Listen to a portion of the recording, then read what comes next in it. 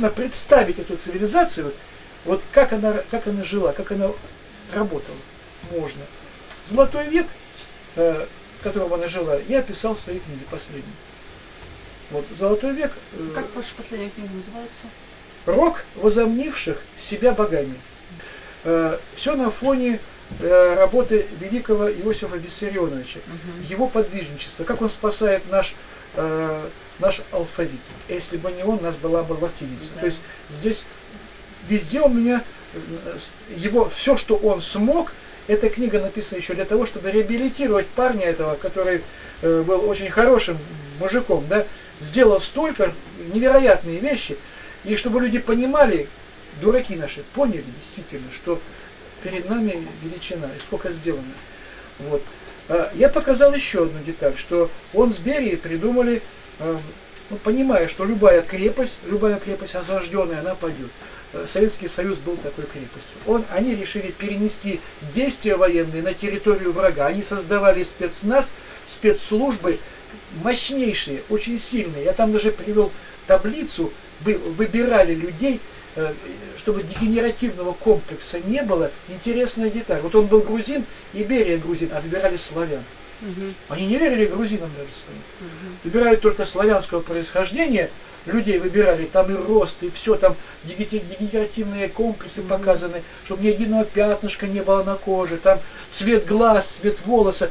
Вот этих людей отбирали. Это для подготовки и заброс за границу, чтобы каждый подонок, каждый, каждый предатель и, и каждый иллюминат, который собирается атаковать страну, умирал. Чтобы они знали, что они все ходят под под прицелом. Начинает какое-то действие, долго не проживет. Понимаете, вот такую войну. Это, да, это, это серьезно, но эта война была... Если сейчас мы хотим выжить, надо это то же самое. Путин это должен сделать, я уверен. Он уже, наверное, об этом думает. Иначе любая осажденная крепость, найдутся те, кто продаст ее, э, кто откроет ворота. Троянский конь всегда будет. Нужно, чтобы война была в лагере у врагов. Тогда и, и Сталин это понимал. Вот все это в этой книге. В этой книге описан золотой век у меня. То есть устройство общества золотого века, как оно работало. Есть одна деталь. Вот когда большевики пришли к власти, они сразу стали расстреливать, создали э, прецедент э, и начали расстрел э, так называемых э, контрреволюционеров. А кого они расстреливали? Э, Дворян почти не было, они уже разбежались, были убили, убиты на, на войне, две войны там была, одна японская, вторая вот это была. Вот. Э, они же уничтожали общинников, они уничтожали артельщиков. Ар... Ведь до прихода большевиков надо понимать, что Россия была уже в социализме. Был артельный социализм созданный. Это было общество уже социалистическое, несмотря на то, что стоял царь-батюшка. Оно уже внизу было. Так вот, артельщиков и уничтожили. Так вот, первое высшее сословие общества, золотой век, оно артельное было. Для этого и уничтожались артельщики. Так вот, э, получается, что первое общество, это э, тружеников общества, то, что создавал Сталин, сразу начал с этого образованное общество, образованное. Колхозы, да? Самое высокое образование, какое только можно, Сталин хотел это образование дать своему народу. Обычно подонки не хотят давать образование. Дураками проще управлять. А здесь он это хотел. Второе, второе общество управленцев, слой, то есть кастовое общество, кастовое. Только надо понимать, что касты были переход из одной касты в другой был открыт. А в Индии наоборот. Там все наоборот. Там сатанизм в Индии. Там в касте, родился, в касте в этой и умрешь. И никуда ты не уйдешь. И почему ты в касте вдруг родился? Ты можешь родиться в касте, вот, да, вот золотой век, но ты будешь воспитываться вне всяких каст. А там тебе позволят вступить в первое сословие тружников или нет. Или ты на обочине жизни окажешься, если ты дегенерат, и не получишь права голоса, и не получишь права гражданства. Вот. А наверху стояли философы. Платона читать надо, у Платона же все есть. Философы, хранители закона, хранители знаний, они воспитывают детей, разделяют их по генетическим способностям, по природным. С одними больше, с одними меньше работают. Поднимает их до понимания первого высшего сословия или касты, где, где артельная система.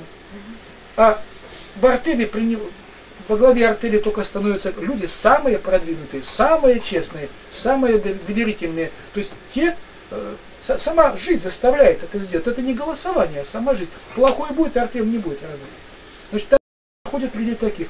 Из них выбирают самых лучших людей, которые отработали в свое время, набрали опыта, продвигаются в стратегии, в управлении, но делегируют власть хранители закона. Они сами не управляют, им не нужна власть. Они выше власти стоят, но они дают возможность другим управлять и наблюдают, как они управляют. Вот общество золотого века. Если кто-то зарывается не так, что-то делает, они просто его убирают. Если он дергается, народ, масса народа поднимается и сметает этого друга. Царя там или кого-то, ну без разницы. Но единица одна, лидер должен стоять во главе этой пирамиды Золотого века? Или это царь, как... царь. Все-таки должен быть лидер. Царь управленец. То есть или Цезарь, или царь, или князь, это неважно кто, или император, это как угодно можно называть, он стоял, ему давали возможность работать 12 лет, и он отвечал за свою работу, он за, через каждые два года нес ответственность перед хранителями закона, перед народом. Он говорил, ребята, я это сделал, это сделал, поэтому, поэтому, поэтому. В этот момент он терял всякую власть.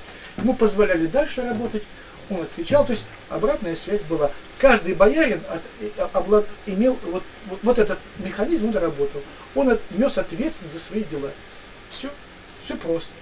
А хранители закона, они, как правило, были за 70 лет люди. Они же прожили свою жизнь. Они были мудрые, настоящие. И это были философы, это были учителя, которые, которым уже материальный план был неинтересен. Просто они, пере, они, они прошли это все. Поэтому им главное было служение, связь с Творцом. Это же все просто. У Платона все есть. Я ничего не выдумал, я взял у Платона. Так что вот так.